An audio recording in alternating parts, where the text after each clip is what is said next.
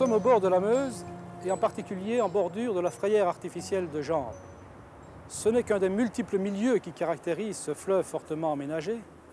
Il en existe bien d'autres, et notamment des zones rapides à l'aval des barrages, de grandes zones d'eau calme, des berges à pente douce, à végétation aquatique dense, etc. C'est cette diversité de milieux qui est à la base de l'existence d'une quarantaine d'espèces de poissons qui constituent le patrimoine biologique de notre fleuve wallon et qui sont le témoin permanent, continu, d'une certaine qualité de notre environnement. D'où l'intérêt d'inventorier régulièrement tout au long du fleuve, et notamment en amont et en aval des grandes villes, ces espèces de poissons, et cela peut se faire par diverses techniques, dont la pêche électrique.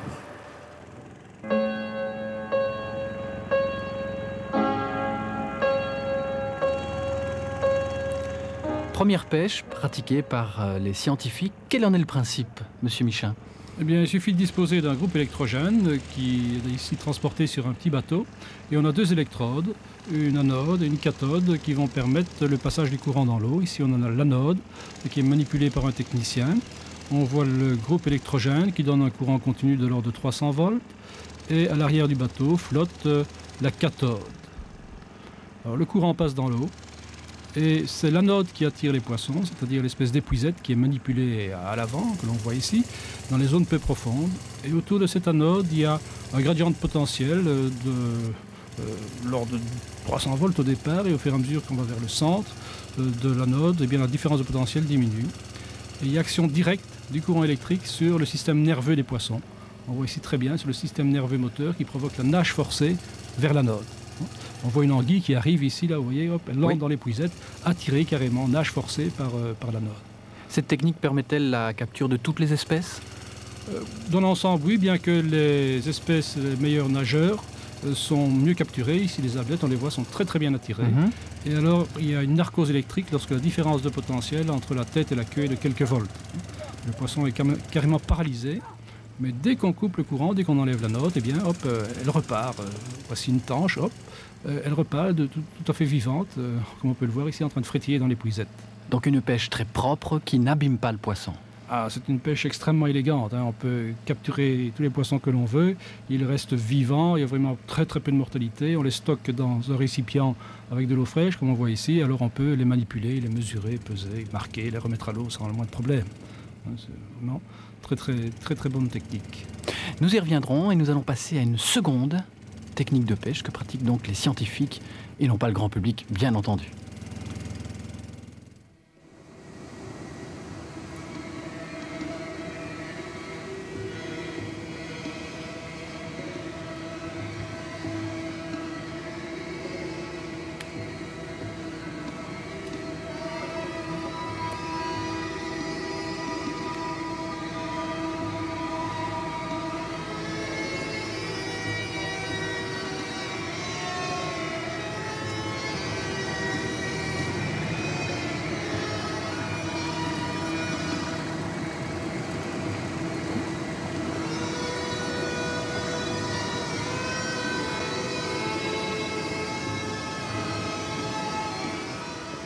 Nous retrouvons notre équipe pour une seconde pêche, une seconde technique, la pêche au filet maillant.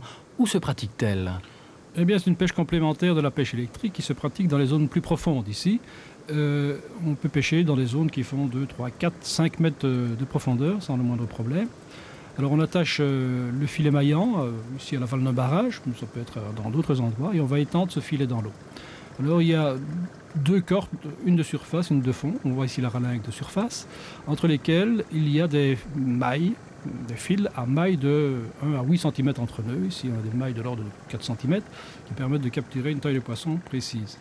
On voit très bien la ralingue plombée ici, dans laquelle, une corde dans laquelle il y a du plomb, qui va faire pêcher le filet sur le fond. Et grâce à la ralingue de surface, la corde ici avec des petits flotteurs, euh, euh, le filet va être vertical dans l'eau et on voit ces petits flotteurs avec des polystyrènes qui permettent à cette corde de flotter. Le filet est vertical, les poissons euh, ne le voient pas et veulent passer à travers, se font prendre par le corps. Et c'est la capture. Hein Cette pêche a l'air d'abîmer le poisson? Cette pêche euh, abîme le poisson, c'est presque mortel. Enfin, les poissons ne sont pas morts quand on les reprend, mais ils sont, il faut les sacrifier. De toute façon, elle est faite uniquement pour capturer du poisson que l'on va ramener au laboratoire, disséquer pour des analyses de métaux lourds, etc. C'est un poisson condamné, donc euh, disons-le clairement. Ah hein. oui, oui, ça c'est clair. oui. C'est beaucoup moins élégant que la, la pêche électrique. Elle est ici simplement, cette technique est complémentaire. D'accord. Retour de notre équipe qui va relever les filets. Combien de temps a duré l'attente? Alors c'est un peu variable, mais en tout cas on laisse le filet un temps relativement faible dans l'eau, demi-heure, une heure, deux heures, tout ça dépend du moment et de la quantité de poissons qui entre dans le filet, euh, afin de limiter le prélèvement hein, et d'éviter des dégâts importants aux populations de poissons. Alors ici on relève le filet, vous voyez qu'il est vertical, on tire sur les deux ralings, ralings de surface et de fond. Et dans les mailles, normalement, on va pouvoir euh, voir des poissons qui sont capturés. C'est apparemment du gros poisson, toute proportion gardée, s'entend. Ici, c'est un, oui, un assez gros poisson. C'est un beau, euh, bel octu euh, avec, euh, qui était capturé dans ce filet à mailles de, de l'ordre de 4 cm entre nœuds, donc qui permet de prendre des poissons de cette taille à peu près. C'est ça. Vous voyez qu'ils sont bien emmêlés et que rien que le fait d'enlever le, le filet, euh, on abîme les écailles, on abîme le poisson, et par conséquent, si on le relâchait, les, les chances de survie sont faibles. C'est inutile. Euh, on capture ici, je pense, un barbeau. hein, on voit, donc on prend plusieurs espèces euh, Mhm. d'une taille déterminée. Vous voyez que ces poissons sont assez bien calibrés et qui est fonction de la maille du filet, en quelque sorte.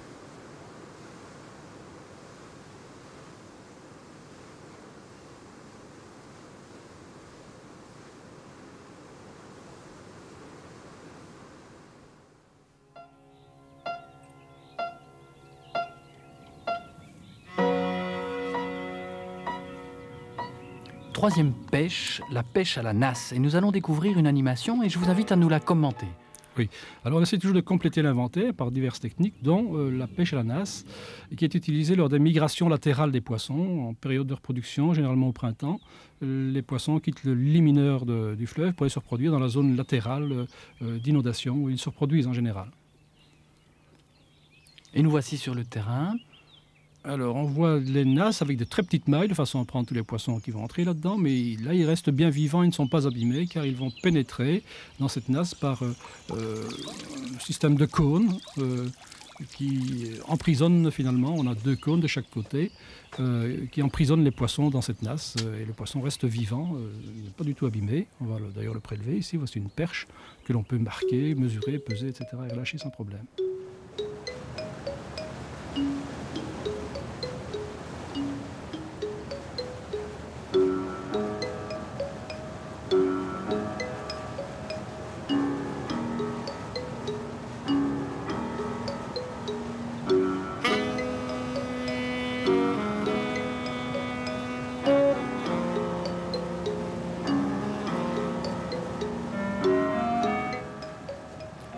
Les échelles à poissons. Je ne sais pas si l'on peut parler à... proprement de pêche. Je parlerais plutôt de capture, de prélèvement. Oui, c'est effectivement toujours pour compléter nos prélèvements, pour surveiller la biocénose de poissons de la Meuse, en quelque sorte, que l'on va euh, venir faire des prélèvements dans les échelles à poissons. Euh, ces poissons sont obligés de, enfin, généralement migrent au printemps euh, vers l'amont, pour, vers les lieux de fraye. Avec tous les barrages qu'il y a sur la Meuse, eh bien, évidemment, ils sont bloqués et sont obligés de passer dans les échelles à poissons quand il y en a et quand elles sont fonctionnelles. Alors on va découvrir étape par étape ce prélèvement. Oui, alors voici euh, la partie amont de l'échelle à poisson. On va euh, tout simplement barrer carrément l'entrée d'eau avec un système de planchette, relativement simple. On empêche l'eau d'entrer et on va pouvoir ainsi euh, contrôler dans chaque palier, il y a une série d'escaliers en quelque sorte, euh, les poissons qui se trouvent, euh, qui étaient donc en pleine migration en train de remonter. Alors pour éviter l'entrée d'eau dans l'échelle, on met un système de plastique pour limiter les fuites en quelque sorte euh, et Oui. éviter d'avoir des ennuis lorsque l'on va vider chaque palier en quelque sorte, chaque, chaque escalier si on peut dire. Alors, on voit qu'il y a de belles concentrations de poissons dans chaque, dans chaque palier. Effectivement, hein, ça nous renseigne de l'utilité euh, réelle et sérieuse des échelles à poissons. Alors on va commencer à vider les paliers par le bas et remonter euh, les uns après les autres pour faire le contrôle des poissons qui s'y trouvent. Ici on est au palier 14, on enlève la planchette et on va vider donc euh, l'eau qui se trouve dans, à ce niveau, dans ce, à ce niveau de l'escalier. Et vous voyez que au fur et à mesure que le niveau d'eau baisse, les poissons viennent dans les puisettes, on les capture, donc sans le moindre problème. tous ces poissons sont capturés dans les puisettes, vont être stockés euh, momentanément dans un récipient d'eau et seront utilisés à la suite pour une série euh, d'informations, de mesures, de paramètres biologiques. ici un autre palier qu'on est en train de vider. Vous voyez que dans chacun, il y a du poisson. Et par conséquent, il y a parfois des gens qui sont sceptiques sur les échelles à poissons. Quand elles sont bien conçues, qu'elles sont attractives, euh, eh bien, elles sont extrêmement fonctionnelles. Et ces images ne sont pas truquées. La démonstration est assez évidente. Euh, ce qui démontre que la plupart des poissons, même les cyprins, hein, puisqu'il n'y a pas de saumon ici, euh, même les cyprins ont une pulsion migratoire importante. Hein. il faut leur permettre de se déplacer dans leur milieu qui est le leur, finalement.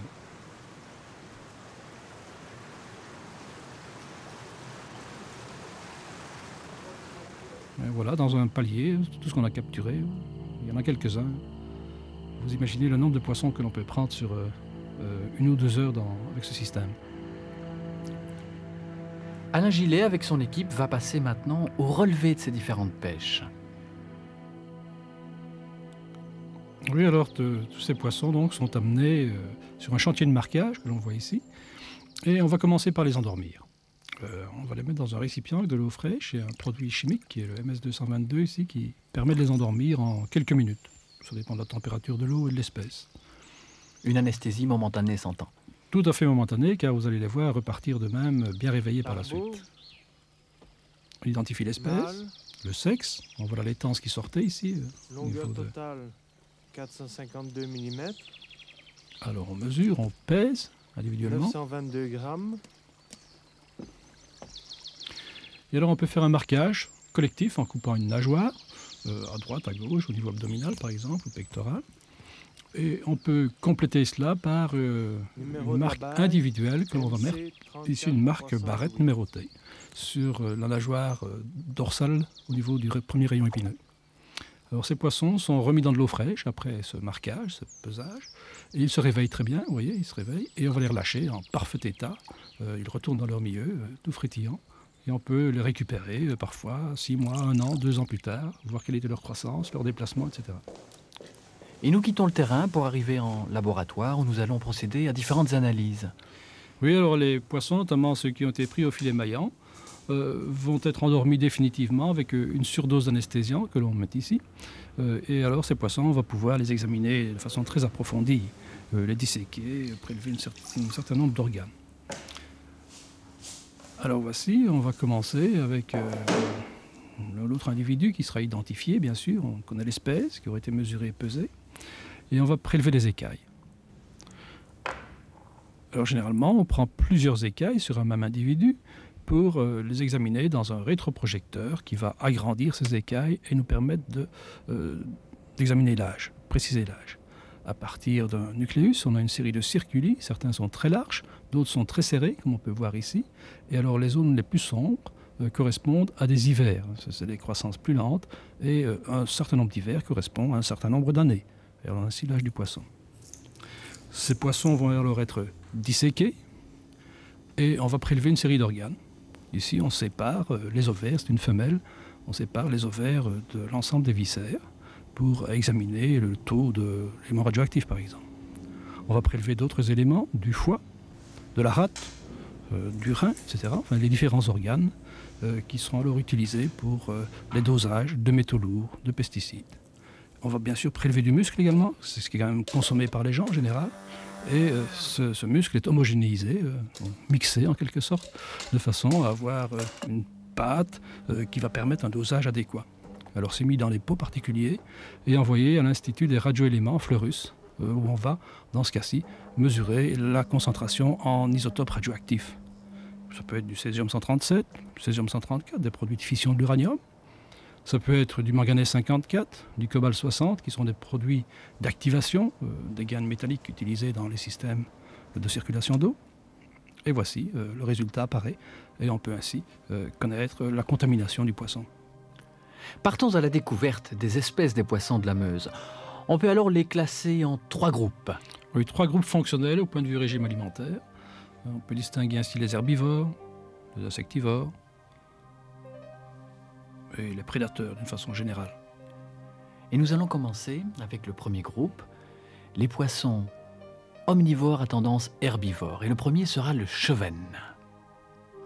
Le cheven qui a une taille moyenne adulte de 35 cm, c'est une information que l'on retrouvera pour chaque euh, poisson. Alors oui, ce cheven, qui est un beau poisson fusiforme, à bouche terminale, lèvres supérieures et inférieures égales à peu près, de même longueur. On voit ici très bien. Avec une nageoire anale qui est convexe, arrondie vers l'extérieur, vers la partie caudale. Et aussi de grandes écailles, très grandes écailles que l'on voit ici, euh, qui caractérisent cette espèce. La vandoise, 20 cm. La vandoise, on la confond souvent avec le cheven, mais elle est quand même bien différente. hein. Elle est moins fusiforme. Euh, la nageoire anale est tout à fait concave, creusée vers, vers l'avant, en quelque sorte. On Mhm. voit ici très bien. Euh, et puis une bouche euh, infère, c'est-à-dire la lèvre supérieure est plus grande que la, bouche, que la lèvre inférieure. Le hotu, taille moyenne 35 cm. Alors ce poisson est également assez fusiforme, on le voit, assez bien allongé d'ailleurs, il vit dans les eaux plus ou moins courantes. Et il a une bouche infère avec une lèvre supérieure très épaisse, on le voit ici. C'est tout à fait une caractéristique remarquable de ce poisson.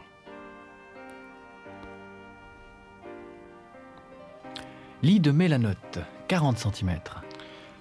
Alors l'île mélanote est un poisson légèrement, à bouche légèrement infère et oblique. C'est un poisson très rare dans la Meuse. Euh, En réalité, on essaye de le réintroduire. Pour le moment, il a presque disparu. Une caractéristique sont ses nageoires dorsales euh, et anales à base étroite.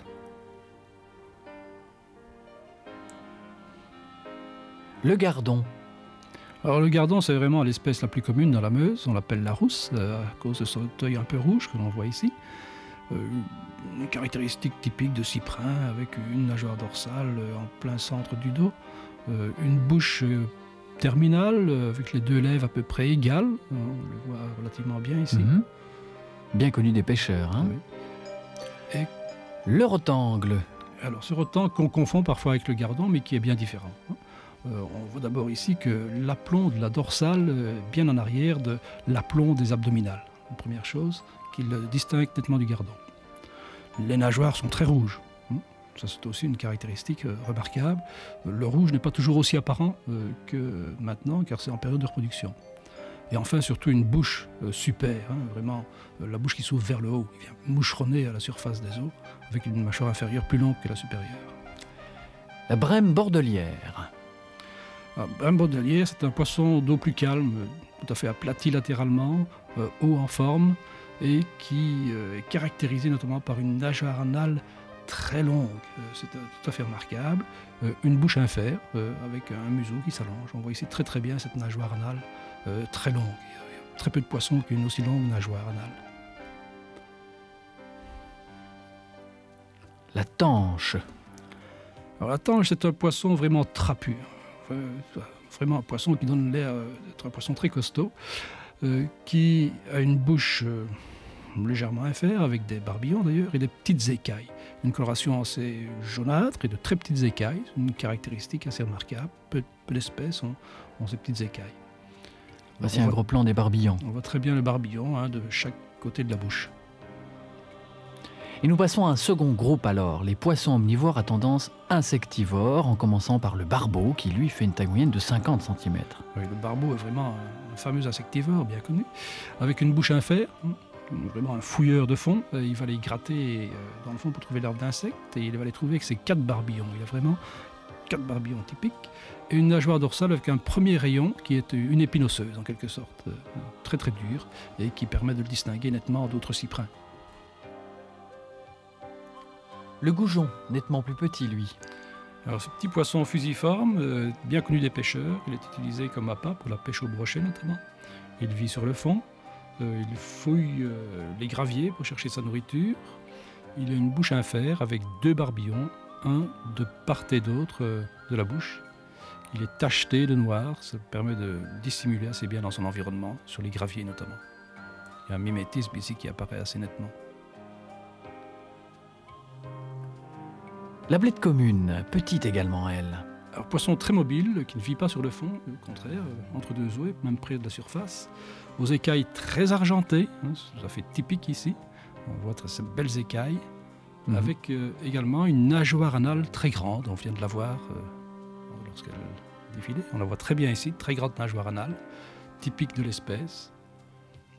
Et une bouche également, une bouche super, c'est-à-dire que la lèvre inférieure est très longue et ce poisson va venir en surface pour moucheronner. On voit ici très très bien la lèvre inférieure beaucoup plus longue que la supérieure.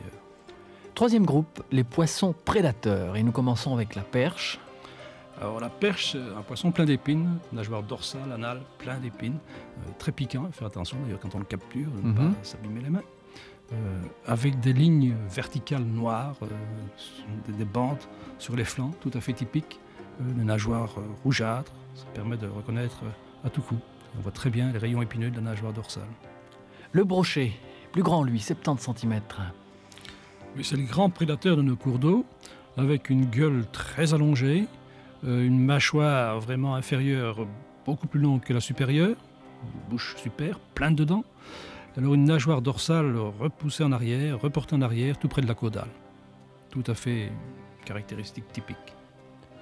Les grémilles, c'est un prédateur, ça, avec 13 cm Alors, grémis, c'est un, un petit prédateur qui, est surtout, qui va surtout manger des insectes, mais pour ainsi dire pas d'autres poissons, et qui est aussi plein d'épines, nageoire dorsale très épineuse, du moins la partie antérieure que l'on voit ici, Euh, les opercules, euh, avec des épines aussi, caractéristiques tout à fait systématiques, de grands yeux. Nous allons clôturer avec l'anguille. L'anguille, c'est un poisson qu'on ne peut pas confondre avec d'autres, hein, tout à fait allongé, euh, vraiment serpentiforme, je dirais presque, euh, qui se déplace en, en ondulant en quelque sorte dans l'eau. Alors on voit très bien cette petite nageoire pectorale, suivie d'une grande nageoire dorsale, une grande nageoire anale. On voit ici euh, le poisson qui se déplace en ondulant. Et alors une très grande bouche, hein, une bouche très fendue, ouverte jusqu'en dessous de la partie postérieure de l'œil. On peut voir ici. Donc il va pouvoir consommer de grandes proies. Combien d'espèces y a-t-il dans la Meuse? Ah bien, dans le bassin wallon, en quelque sorte, il y a une quarantaine d'espèces. Enfin, il y avait une quarantaine d'espèces, car il y en a un certain nombre qui n'existent plus. Alors remontons un petit peu dans l'histoire, à travers les livres. Oui, depuis le début du siècle, eh bien, on a eu l'extinction d'une série d'espèces. euh, euh, les aloses, euh, la lamproie fluviatile. Voici une autre alose. Le saumon atlantique, vers les années 35, a disparu de, de la Meuse. Des espèces disparues, il y a aussi des espèces menacées. Ah oui, bien sûr. Alors il y a le brochet euh, est toujours là, le barbeau également, mais ce sont des espèces qui se raréfient, qui sont menacées, certainement. Il y a des causes à tout ça, ce n'est pas le fruit du hasard. Ah non, c'est la destruction des frayères. On a ici une carte ancienne où les frayères étaient repérées par euh, les zoophéros au début du siècle. Et ces milieux sont, ont disparu, ont été détruits, euh, modifiés, rectifiés, comme on le voit ici. Ce sont des causes directes? Ah, ce sont des modifications physiques euh, directes du milieu, destruction des frayères, euh, les berges qui sont rectifiées, bétonnées parfois ici. On, on ne fait que mettre du graphier, mais enfin, la diversification du milieu est extrêmement faible et les possibilités pour se reproduire pour les poissons sont quasi nulles. Le dragage Alors pour la navigation, on améliore bien sûr euh, les possibilités de déplacement des des bateaux en draguant. On enlève toutes les gravières, euh, qui étaient aussi des zones de fraye pour euh, les poissons rhiophiles tels que barbeaux, otus, etc. et bien sûr les hydrocarbures, la pollution. Alors les pollutions, pollutions aux hydrocarbures euh, que l'on voit ici, ah oui, on essaye d'ailleurs de, récolter, de, récupérer ces hydrocarbures euh, ou de les disperser avec des détergents. Mais il y a des pollutions toxiques, euh, avec les cyanures par exemple, enfin des produits chimiques divers qui vont provoquer la mortalité de toute une série d'espèces de poissons. On a ici un, cocktail d'espèces qui montre qu'effectivement un produit toxique a tué tout. Nous quittons la Meuse et nous nous retrouvons en pisciculture maintenant.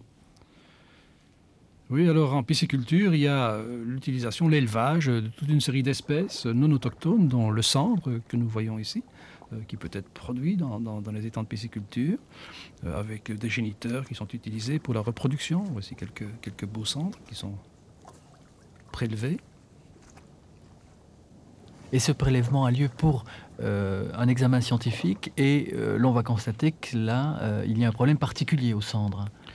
Oui, mais on peut dire d'abord à partir des piscicultures, il y a des poissons qui s'échappent ou bien des poissons qui sont achetés par les sociétés de pêche et on, repeuple alors en espèces étrangères la Meuse avec des problèmes qui peuvent être conséquents. Hein. C'est ainsi que dans la région de Dinan, il y a quelques années, une société de pêche a repeuplé la Meuse avec du cendre, mais cela a eu des conséquences sur une série d'autres espèces car le cendre est porteur, vecteur d'un ver trématode que l'on voit ici, qu'on a prélevé dans son intestin, qui s'appelle Bucephalus polymorphus. Et ces vers adultes qui se développent dans l'intestin du sang vont pondre des œufs. Euh, et ces œufs vont être émis avec les fesses, euh, par l'anus du poisson. Et ces œufs vont éclore dans des larves nageuses qui vont aller dans les organes reproducteurs de petites moules, de dressines que l'on a ici, mais ça peut être de, grosses moules d'eau douce, des uniaux, des anodontes. Et après un certain temps, euh, il y a des cercaires qui vont sortir de ces moules, donc euh, le, verre a subi des modifications. Ces, cercaires nageuses vont pénétrer dans un cyprin, euh, provoquer des, nécroses sur l'épiderme, s'enquister au niveau des nageoires. Mhm. Et alors ce cyprin va être consommé par le sang, et les œufs vont éclore à nouveau dans l'intestin du centre. Le cycle est bouclé. C'est ainsi que les gardons que l'on a prélevés dans différents biais de la Meuse, eh bien, entre 63 et 96% des gardons sont parasités. Hein, on présente euh, ce ver. Euh, et il n'y a pas que le gardon, une série d'autres cyprins sont atteints. On voit ici le chevenne, le hotu, le goujon euh, sont parasités également par ce ver. Ici, un chevenne aveugle. Deviennent aveugles. Voici un chevenne qui est devenu aveugle avec le trématode, le ver qui s'est développé donc dans, dans l'œil du chevenne. Dans certains cas, il peut y avoir des nécroses au niveau de l'épiderme et provoquer des mortalités de cyprins. Donc le sang doit vraiment favoriser cela. Une autre originalité dans la Meuse, peut-être inquiétante, c'est la présence du silurglane, qui, tenez-vous bien, peut atteindre 1,50 m. D'où vient ce poisson? Ce poisson est originaire du bassin du Danube. Il est importé en Belgique euh, pour faire des élevages en pisciculture, d'où certains individus euh, peuvent s'échapper, s'échappent d'ailleurs, euh, se retrouvent dans, la Meuse. Alors, ce sont des individus qui peuvent se développer et consommer pas mal d'autres poissons que par ailleurs on veut maintenir protégés en quelque sorte. Est-ce qu'il ne vaudrait pas mieux finalement réintroduire des espèces anciennes ou disparues plutôt que d'introduire des espèces étrangères? Ah, en ce qui me concerne, c'est ce qui me paraît euh, évident. Et c'est la raison pour laquelle euh, on s'est lancé depuis euh, deux ans à peu près avec l'Université de Liège et le service de la pêche dans un projet de restauration du saumon atlantique dans le bassin de la Meuse. C'est une réalité, cela ah, ça commence à être une réalité euh, et on va voir d'ailleurs que dans le Sanson, une petite rivière salmonicole affluente de la Meuse que l'on voit ici, eh bien, on fait des repeuplements en, jeunes saumons euh, d'une dizaine de centimètres qui ont été élevés euh, au service de la pêche à partir d'œufs achetés en Écosse.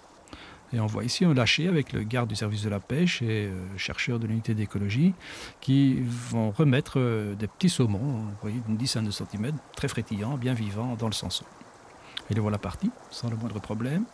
On va bien sûr par la suite, euh, par pêche électrique, euh, surveiller qu'ils vivent, qu'ils grandissent, euh, qu'ils vont se multifier, qu'ils vont descendre vers la Meuse. Combien d'unités avez-vous réintroduites ou introduites pardon?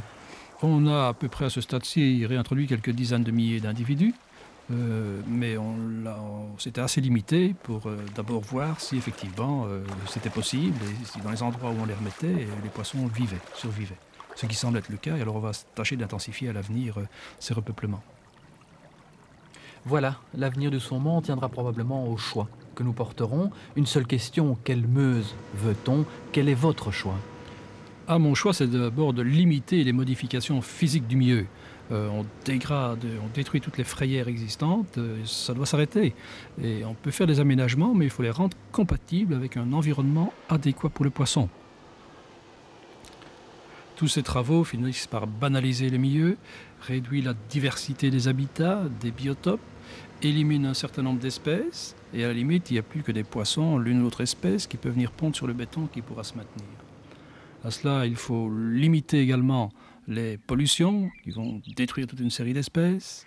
Et par contraste, on voit ici la Meuse en amont de Namur, qui est encore restée assez naturelle, euh, où on peut pêcher au cou, euh, dans un environnement plus champêtre, avec une série d'espèces d'arbustes le long des berges, euh, ou au contraire, on peut envisager de se promener le long de la rivière pour pêcher au lancer, une pêche un peu plus sportive, pour essayer de capturer euh, brochet, de la perche.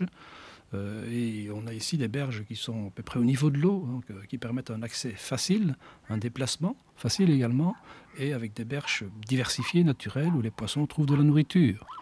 C'est beaucoup mieux que d'avoir des berges totalement bétonné, où les pêcheurs sont perchés en quelque sorte sur une espèce de plancher et essayent de capturer euh, quelques gardons en pêchant au cou. Et s'ils tombent à l'eau, on peut se demander comment ils vont en sortir euh, face à ces berges bétonnées verticales. Il y a donc tout intérêt à conserver une certaine diversité du milieu. À l'évidence, euh, je crois que pour l'avenir, il faut maintenir toutes les espèces qui sont encore dans la Meuse, maintenir tous les biotopes euh, encore adéquats, du moins à Haute-Meuse, et surtout limiter les introductions d'espèces, car euh, je crois qu'elles entrent en concurrence avec celles que l'on a ici et qu'on essaye de protéger. Ensuite, il faut plutôt envisager de restaurer les espèces qu'on a exterminées, telles que le saumon atlantique, mais il y en a bien d'autres. Il y a la truite de mer, il y a les aloses. Je crois que ça peut être un, bel objectif de restaurer les espèces qu'on avait dans, dans notre milieu. C'est notre patrimoine biologique qu'il faut absolument maintenir. Et maintenir la vie du poisson dans la Meuse, eh bien, c'est une preuve de qualité, c'est une preuve d'un environnement adéquat pour l'homme finalement.